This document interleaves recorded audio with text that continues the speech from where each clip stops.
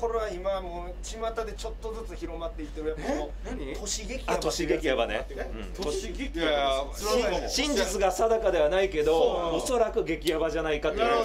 都市伝説みたいな都市劇ヤバ平井のインスタを、まあ、パッと見てたんよなはい。話に、なんだろう。で平井のインスタって平井自身はあんま出てこうへん。